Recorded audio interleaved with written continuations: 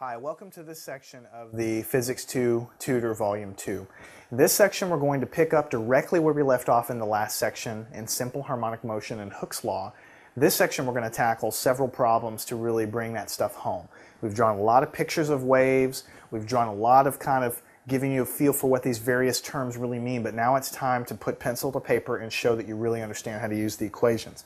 The equations are not really that bad, but you really have to understand the terms, otherwise you'll never get anywhere. So let's just go right into the first problem.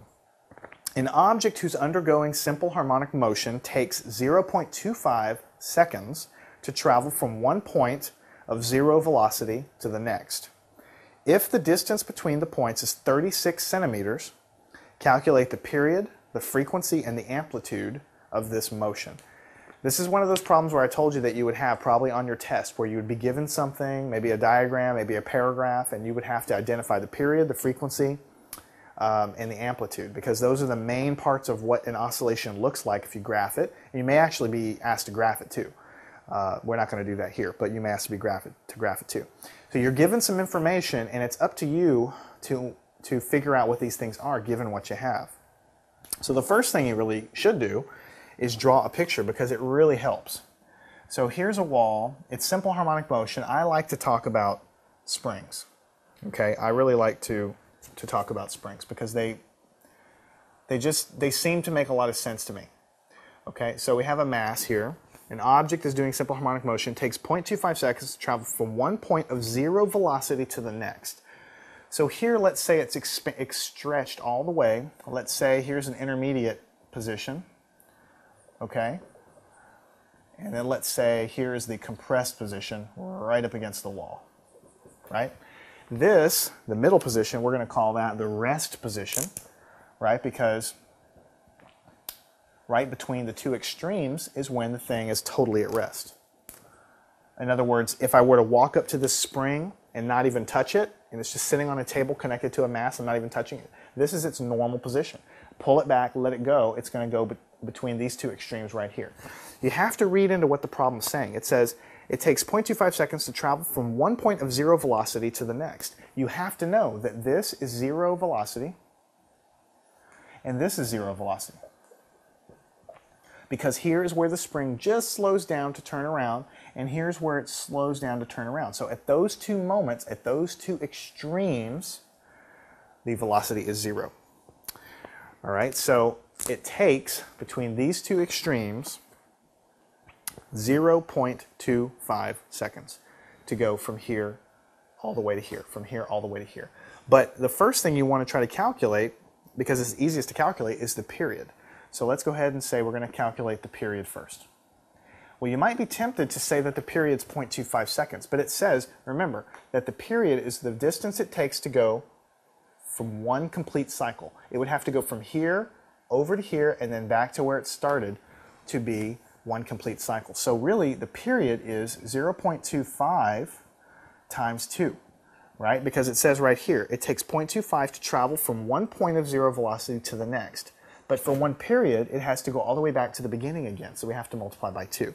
So the period is 0.5, and what's the unit? It's seconds. That's how long it takes for one for one cycle. And if we want to, you know, just just get a little more information, we can kind of try to draw uh, a little graph of that. So we say we pull it back and it goes down and then it goes up like this. So this point on the graph is where it is here. This point on the graph down here is where it is down here because it's in the negative direction on the other side of the rest position down here. Then it travels back up to here. So this distance here, this is right here, 0.25. The time it takes to go from one extreme to the other, but then we have to go back. So this is one second. I'm sorry, 0.5 seconds.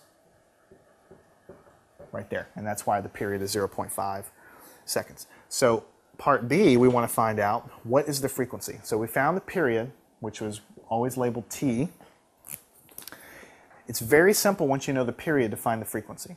The frequency is always 1 over t. That's a formula, an equation that we had uh, in the last section when we talked about all this stuff. You always know the frequency when you have the period and vice versa. So all you do literally is just take 1 over T we found to be 0.5.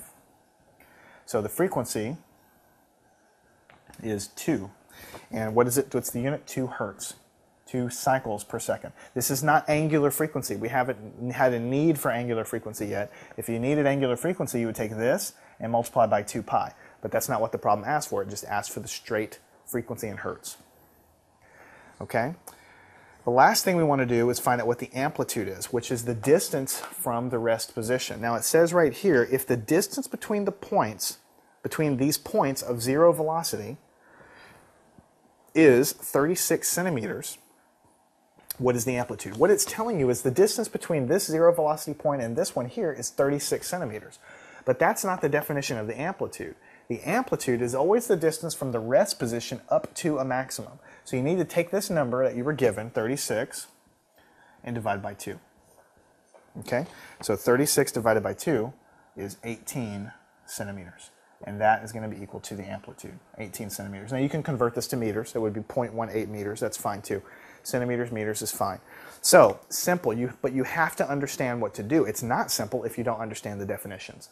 You have to know that the distance between here and here is not the amplitude. It's always from the rest position. The rest position is always between the two extremes. You have to know that the period is the, the total time it takes to make one complete cycle so you would know to add these up appropriately. But once you know those things, it really is not that big of a deal.